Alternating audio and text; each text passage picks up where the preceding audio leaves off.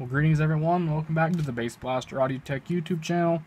Very quick video. This is just going to be another teardown. In this case, it's a Pioneer MVH-S501BS. Uh, we're going to look inside it, but the main reason I'm tearing it down is there's a fault inside here. I've had this in my truck for almost a year, and sometimes I turn on and it's completely dead. The reason I think something inside's wrong because I just unplugged it, banged it on my center console a couple times, plugged it in, and it worked again. So I'm going to look for obviously bad solder joints, mainly on this um, big pin connector. So, let's begin to tear down. Take our face off, that's always first. I don't know how this comes apart. I'm seeing very little screws, but the front does have clips on the top and sides. These clips are simple enough. Push them down on the side. Oop, this one popped back on.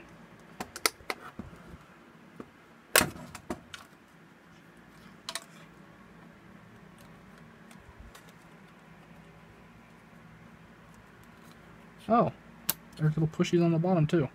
Okay, so there's our front. Set this aside. Wow. So this is a digital media receiver, also known as a short chassis. This is a normal single DIN, right? Mech radio, it's CD player. Right. Pretty straightforward. Why they're called short chassis, they don't have a CD player. Look at the inside this thing, there's nothing in here.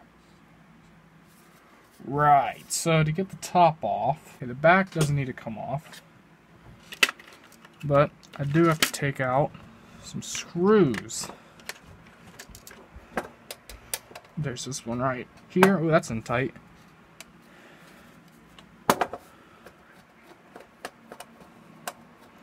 I'm going to set these into my uh, magnetic tray so I don't lose them, right?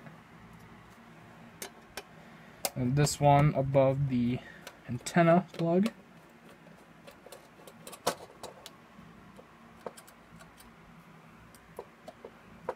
And this top one on the heatsink.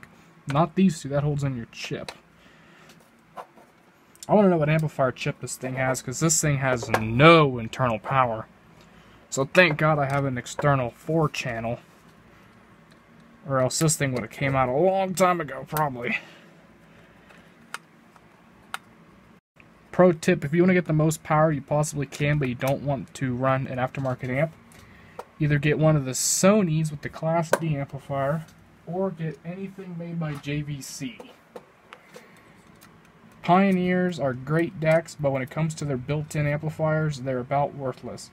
Okay, note the screw in the middle of the heatsink is longer than the other two.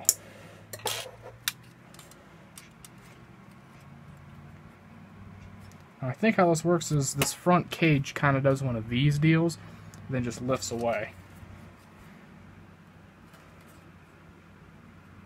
But it does have little tiny, not quite locks, but arrays in the mold.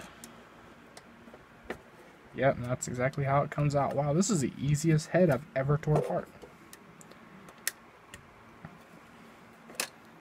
Yeah, that's that's it. That is almost adorable. Okay, we have an ST Microelectronics ARM I'm assuming it's going to be your DSP and everything. It's an STA 1080 underscore OA. We have this. I don't know what this is. This is obviously just a, some kind of RAM. Then we have our chip in the back, and you can see coming from the plug this big uh, filter choke we have. We have two filter caps. We have a 2200 and a 3300, both at 16 volts. Where's our Bluetooth? Going to say it might be this right here. So it looks like the back doesn't have to come off to remove the board from the bottom. Another thing I don't like about this head unit is I honestly believe it's Bluetooth 2.0 because it takes about 15 to 20 seconds to pair with a phone to where you can hit play and it actually starts playing. Put that in perspective, a 2017 Ford Fusion with the Sync 1 Bluetooth in the radio syncs up in about three to four seconds. This is the same thing. The front has to slide. However, there's a metal tab bent up here. They have to bend down or it won't slide out. So we'll just push it back. I guess we just keep uh, gently working it. Yep. Ain't that neat? They put one of these things here, these thermal conductive pads underneath the amplifier chip. I guess they do that because they know this heatsink isn't going to cover it when you're putting out, well, in the case of this, about 11 watts by 4. We have another chip on here. This is a BD37068FV. That's not what I'm worried about. I want to look at our plug and look for bad solder joints. Okay, so I got the iron heating up. I'm going to take off this protective, or this clamp. I want to know what chip this is. I originally thought it might be a TDA 7850, but the 7850 can do over 20 watts into 4 ohms. This does not. I'll link a video down below where they tested this thing and it was like 11 and a half, maybe 12 watts before it clipped useless. Okay, these ones are also the same length as the one that came out the middle of the heatsink. Woo! There's no thermal compound at all whatsoever. That's a great start. Oh, that's salty. This whole back has to come off to get to the front of the chip. But I'm going to do it because it's only three screws. I hope it's not soldered down. I don't think it is.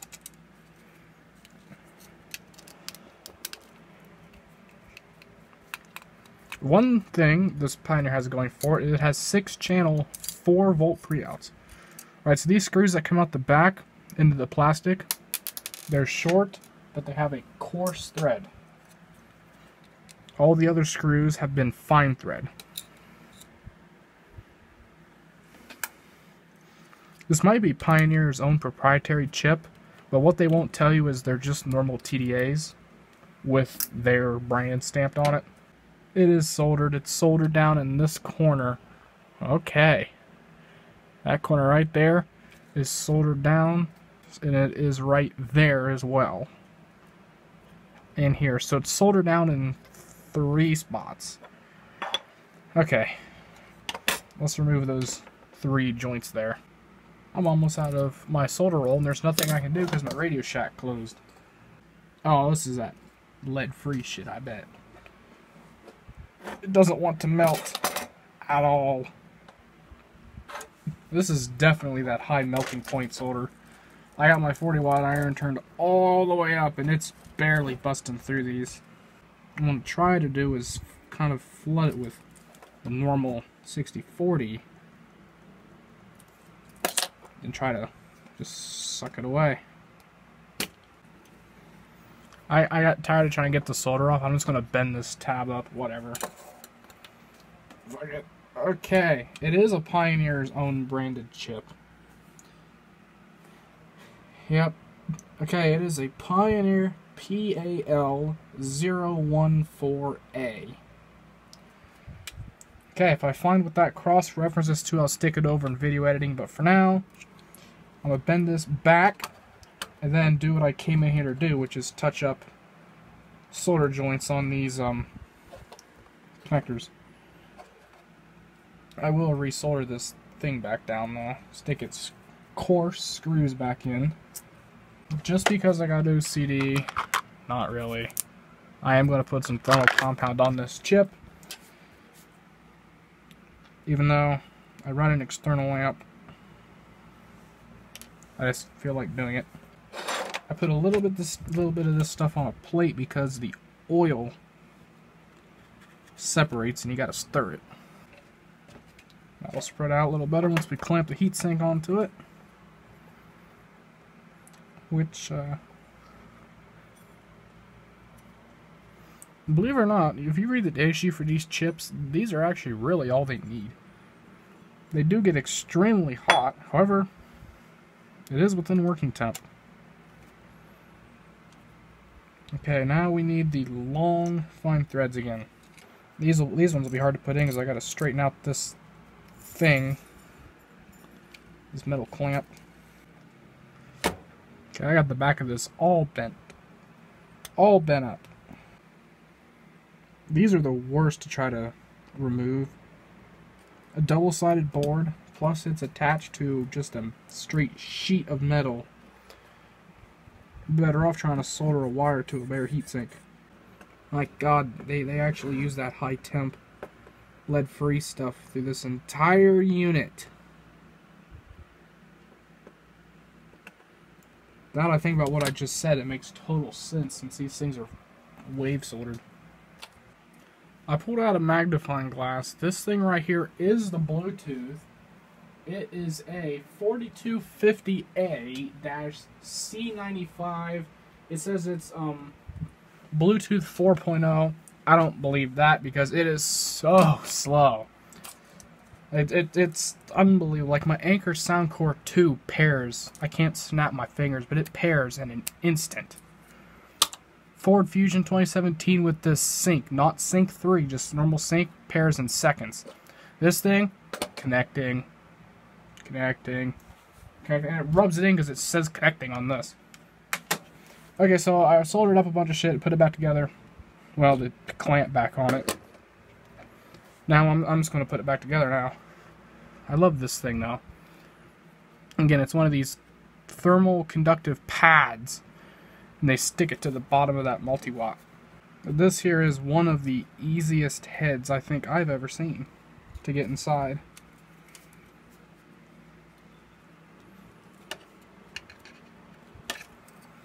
don't remember how to put the bottom on. Oh, kind of goes in like this, and then you got to kind of clamp it down, right? Yep.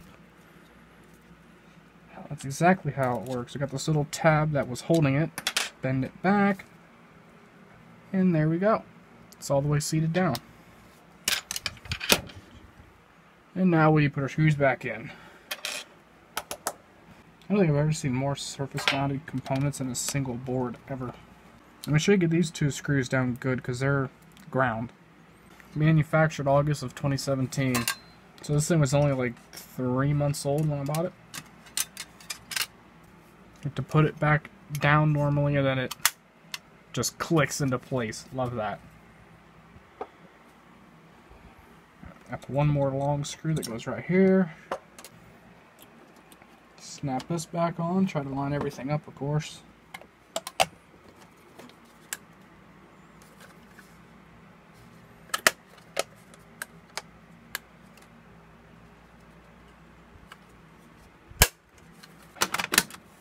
And there you go. There's your Pioneer MVH-S501BS. Hope you enjoyed the video. Knocked the camera over almost again. I'll catch you guys in the next one. Bye for now.